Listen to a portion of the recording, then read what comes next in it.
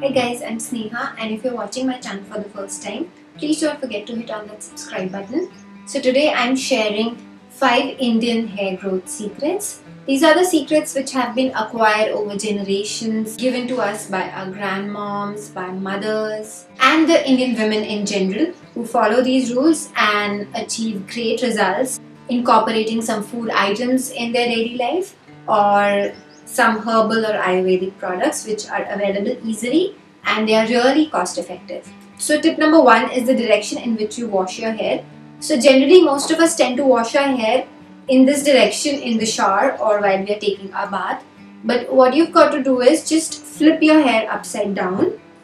Uh, when you flip your hair upside down, so the hair roots receive proper amount of air so when you're flipping your hair upside down and massaging the shampoo into the scalp, so it increases the blood circulation in your scalp.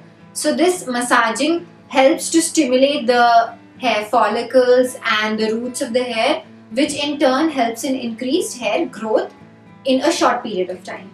So tip number two is the frequency in which you shampoo. So generally you will see people uh, who are inching towards longer hair they do not shampoo very often. For me, I shampoo just once or twice in a week, that's it. Most people I've seen shampoo daily or even every alternate day.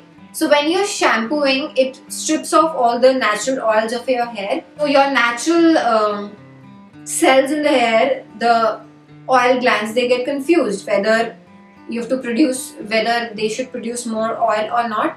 So this in turn hampers your hair growth rate. Also the uh, shampoos that we use in our daily life are full of chemicals. So if we shampoo very frequently, what it does it, it just all the shampoo gets built up, the chemicals get built up in the hair follicles and hair roots and they clog the pores of the hair. Follicles get clogged, not enough oxygen or blood is reaching. So this hampers your hair growth in the longer run. Pointer number three is a DIY homemade hair oil. So I've made this hair oil on my channel before and I'll link it here for you guys to check it out. So this is a DIY kalonji or black seed hair oil. So kalonji or the black seed is known to provide extreme hair growth, to provide black, long and extremely moisturized and nourished hair. Apart from kalonji or black seed, this hair oil also has mustard oil, castor oil and amla and these are some exceptionally good ingredients for your hair. Uh, amla has a lot of vitamin C so it gives a lot of antioxidants to the body.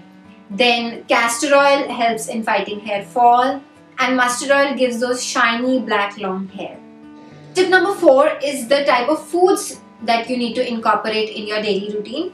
So what I do every night before going to bed, I soak a handful of almonds in water and the next morning I just peel them off and have those soaked almonds after having my morning tea or with my breakfast. Uh, so these dry nuts or the dry fruits help in providing the nutrition that we are not getting from our uh, foods that we are eating. Apart from almonds, another one is cashews. Now most of us steer clear of cashews because we think it is a product which increases the cholesterol level in the body.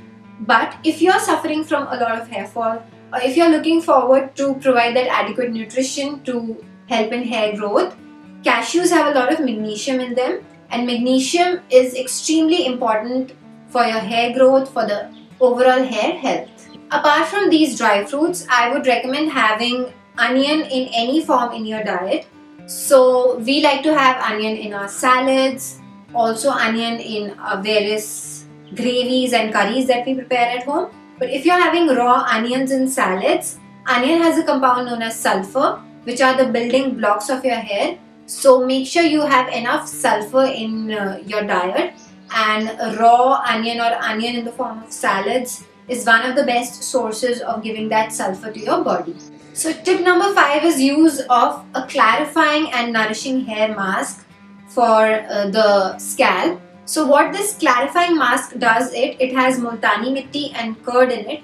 So multani mitti helps uh, to get rid of all the buildup that has been there on the scalp, on the hair follicles. So the scalp or the roots of the hair are clean enough to so that all the products that you're applying in their hair they work for your hair type And the curd in the hair pack provides adequate nutrition and nourishment. So when your hair scalp is clean and your hair is nourished, whatever food you're intaking, it helps in your hair growth and hair nourishment. So these were my 5 Indian hair growth secrets. If you found this video useful, don't forget to give this a like and do not forget to share this with your friends. If you haven't subscribed to my channel, don't forget to click on that icon here and subscribe to my channel and I'll see you very soon. Bye bye.